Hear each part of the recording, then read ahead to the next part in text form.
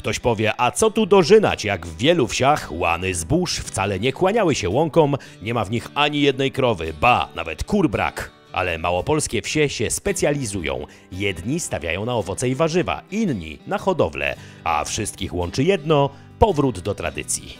Ważne jest to dla nas, że tyle ludzi jednak chce robić wieńce, chce je wić, chce się spotykać, a to nie jest prosta sprawa, dlatego że te wieńce były robione tam przez miesiąc, dwa miesiące i to widać, widać ten ogromny wkład pracy. Wszystkie te produkty rosną tutaj na naszych ziemiach. Nie dodajemy żadnych sztucznych rzeczy do naszych wypieków, żadnych proszków, e, żadnych utrwalaczy. Mamy zdrową żywność. Czasach, gdy całym, nawet wielkim gospodarstwem zarządzać można od choćby smartfonem, tradycja dożynek zdaje się rozkwitać. Już były lub jeszcze będą dożynki gminne, powiatowe, parafialne, a teraz czas na najważniejsze wojewódzkie. Chcemy kultywować właśnie wspólne świętowanie tego, co dała ziemia, tego, co wypracowali ludzie na wsi, co wypracowali e, rolnicy.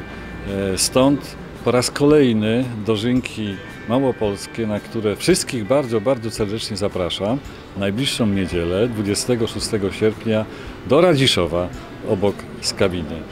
Nie od dziś wiadomo, że Małopolska ma najwięcej w kraju uznanych i certyfikowanych produktów regionalnych, więc będzie jedzone na potęgę. Będzie folklor w muzyce i dożynkowych obrzędach oraz kabaret wejrzesz, czyli po małopolsku. No i może mało wsiowy zespół Blue Cafe, ale to w myśl zasady tradycja i nowoczesność.